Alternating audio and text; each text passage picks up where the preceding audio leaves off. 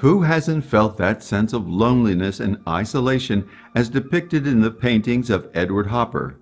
It's a Hopper trademark, and for many, this work, Nighthawks, is the quintessential representation of the painter's personal vision.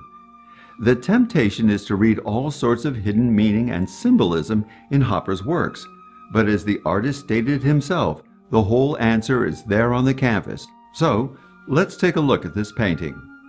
It's a relatively large work, measuring nearly 3 feet by 5 feet, and depicts an all-night diner on an empty, dimly lit street.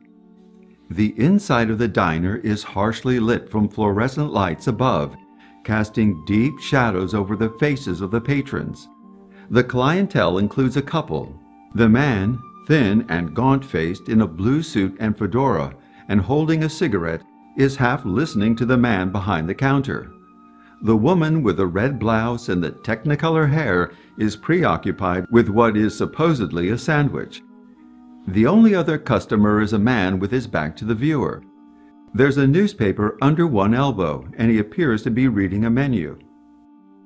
They are loners, looking for respite on this way station to wherever, one gets the feeling they have nowhere better to go, nor anywhere they want to go. It's an elongated picture which gives it a rather cinematic feel. The composition is unique for its use of rectangular shapes. It's like a picture within a picture within a picture.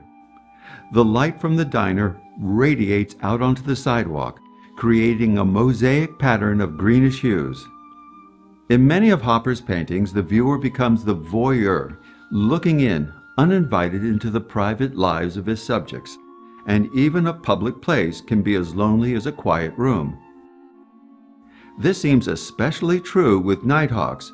From our standpoint as the viewer, standing outside at a distance, we are confronted with the question, would it be better to join the melancholy of humanity inside the diner, or remain outside, surrounded by the warm darkness and anonymity of the city? It's a vision that touches a deep place in the American psyche. Hopper is considered part of the American realist movement, but his paintings seem more noir, if you can apply that appellation to his paintings, as his work seems to anticipate the popular noir films of the 1940s and 50s. Hopper himself rejected the comparison with other painters or movements, stating, I think the American scene painters caricatured America.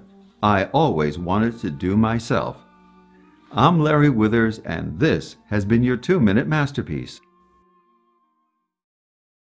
If you enjoyed this episode of Two Minute Masterpiece, like it, share it, and subscribe to our channel.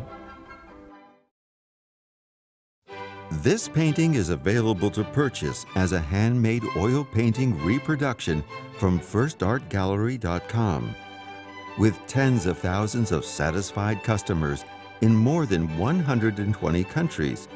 We at FirstArtGallery.com are the world's largest supplier of made-to-order oil paintings. Our talented artists have created hundreds of thousands of paintings for art lovers around the world, as well as clients that include the royal family, major hotel chains, luxury cruise liners, museums, interior design firms, Hollywood production companies, and more.